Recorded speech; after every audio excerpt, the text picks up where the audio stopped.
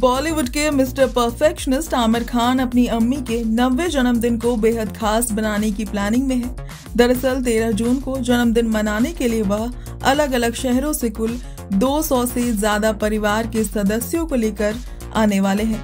इस मौके पर बनारस, बेंगलुरु, लखनऊ, मैसूर और दूसरे राज्यों से परिवार और दोस्तों को लाया जाएगा।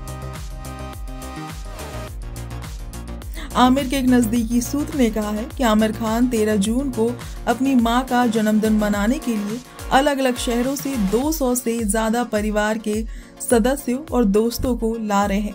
पिछले एक साल से उनकी तबीयत ठीक नहीं है। अब जब उनकी तबीयत ठीक हो गई है, तभी एक बड़ा गेट टुगेदर करने की तैयारी कर रहे हैं। सोर्स ने कहा कि इस खास दिन का जश्न मनाने के लिए भारत भर से परिवार और दोस्तों को लाया जाएगा। इस मौके पर लोग बनारस, बेंगलुरु, लखनऊ, मैसूर और दूसरे राज्यों से आ रहे हैं। ये कहना गलत नहीं होगा कि आमिर खान की माँ का जन्मदिन उनके मुंबई स्थित घर में एक ग्रैंड सेलिब्रेशन होने वाला है। आमिर खान एक ऐसे एक्टर हैं जो अपनी माँ जीनत हुसैन से बेहद प्यार करते हैं। इतना ही नहीं सुपरस्टार उनके साथ एक खास बॉन्ड भी शेयर करते हैं। वह अक्सर अपनी फ़िल्मों और स्क्रिप्ट्स के लिए उनसे अप्रूवल लिया करते हैं। कहा जाए तो आमिर की माँ उनकी पर्सनल और प्रोफेशनल लाइफ में एक अहम रोल अदा करती हैं।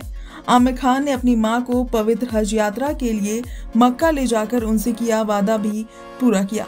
इतना ही नहीं, आमिर ने एक इंटरव्यू में बताया था कि उन्होंने अपनी बुज़ुर्ग माँ की देखभाल के लिए अपने करियर से ब्रेक लेने का फैसला भी किया था। ब्यूरो रिपोर्ट्स न भारत टाइम्स।